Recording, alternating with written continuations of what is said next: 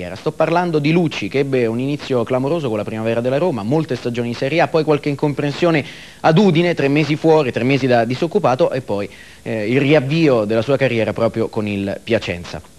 Ducci è stato accusato più volte di essere un giocatore un po' lento e anche un po' svogliato in allenamento. Eh, lui è molto maturato con il passare degli anni, ora ne ha 28 eh, e spera di poter far bene in questa nuova possibilità sua in Serie A. Vediamo insieme l'intervista con Settimio Lucci.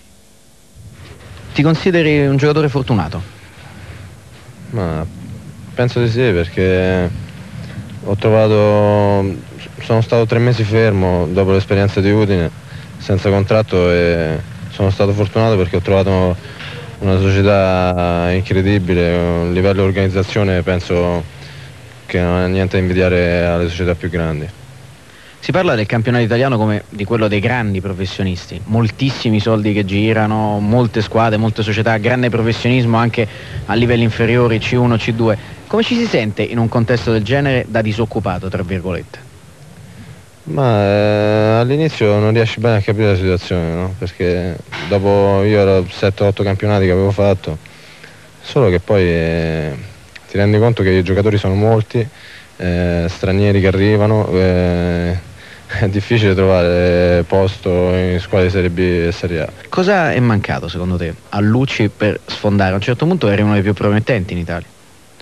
Ma sicuramente mi è mancato un po' di determinazione, pensavo che tutto mi era dovuto e pensavo che era più facile, forse invece eh, te lo devi conquistare ogni giorno durante la settimana, quello che fai la domenica è, è lo specchio di, di, tutta la settimana, io questo probabilmente non l'avevo capito. Cos'è successo realmente a Udine? Ma a Udine c'è un presidente che è un tifoso e, e forse fa la prima cosa che gli passa per la testa, poi io penso che non ho mai visto cambiare tanti giocatori come una società come Udine, perché non c'è più nessun giocatore da quando il primo anno che ero lì, che è proprio domenica era Sonetti allenatore, non è rimasto più nessuno.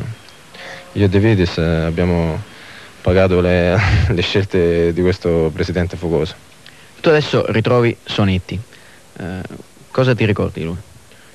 Ma eh, Sonetti adesso ho capito molte cose, come ho detto mi è servita l'esperienza e, e, e, ho capito a distanza di tempo che quello che diceva Sonetti era vero, che, che un giocatore si deve, si deve, vedere prima in allenamento durante la settimana. Io, io in allenamento prima ero un po' schiacciato, avevo poca voglia di allenarmi e invece aveva ragione, aveva ragione lui.